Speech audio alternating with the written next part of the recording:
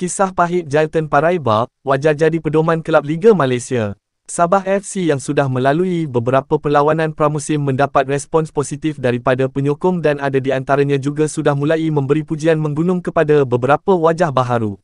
Antara nama pemain yang mencuri perhatian sebelum saingan Liga bermula ialah pemain sayap kelahiran Brazil, Jailton Paraiba susulan gaya permainan dan gelecekannya sepanjang perlawanan persahabatan.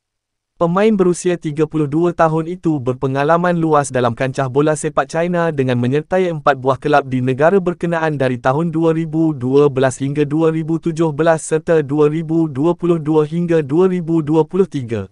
Namun, di sebalik kecemerlangan Paraiba, pemain berketinggian 1.66 meter itu bagaimanapun mempunyai kisah tersendiri dan ia juga sebenarnya boleh menjadi pengajaran kepada Sabah FC dan kelab Liga Malaysia yang lain. Sewaktu bersama kelab China, Dalian Transcendence FC pada musim 2016, Paraiba dilaporkan menghilangkan diri selama 45 hari pada Mei 2017 atas alasan untuk terbang ke Amerika Syarikat bagi menjaga isterinya yang melahirkan anak. Namun tidak lama kemudian, bekas pemain Tokyo Verdy itu memuat naik video rakamannya yang mendedahkan punca sebenar dia menghilang diri daripada pasukan Dalian Transcendence tanpa mengucapkan selamat tinggal kepada penyokongnya adalah kerana tunggakan gaji. Bukan itu sahaja, kelab berkenaan juga sempat menuduh bahawa Paraiba melarikan diri daripada kelab tanpa memberitahu apa-apa notis namun sebaliknya berlaku. Saya meninggalkan kelab Dalian kerana kelab tidak membayar gaji saya selama hampir 4 bulan. Saya telah menyimpan semua bukti, dan peguam saya sudah tahu melalui saluran undang-undang. Pihak pengurusan tertinggi kelab telah berbohong bahawa saya melarikan diri tanpa memberitahu kelab.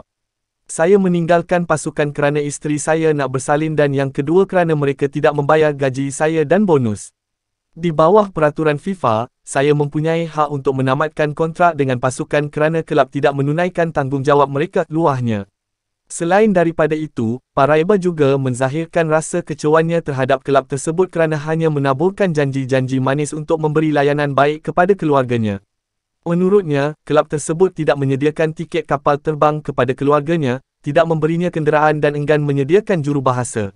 Walaupun dilayan sebegitu rupa, Paraiba masih memberi yang terbaik buat Dalian Transcendence yang mana dia menjadi penjaring terbanyak kelab pada musim 2016 dengan 15 gol daripada 38 perlawanan.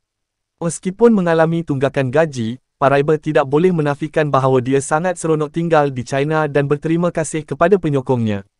Diharapkan sepanjang berada di Sabah FC, Paraiba dan pemain lain serta kelab-kelab Liga Malaysia yang lain tidak lagi mengalami masalah seperti tunggakan gaji yang mana boleh menjejaskan kepercayaan mereka kepada kelab.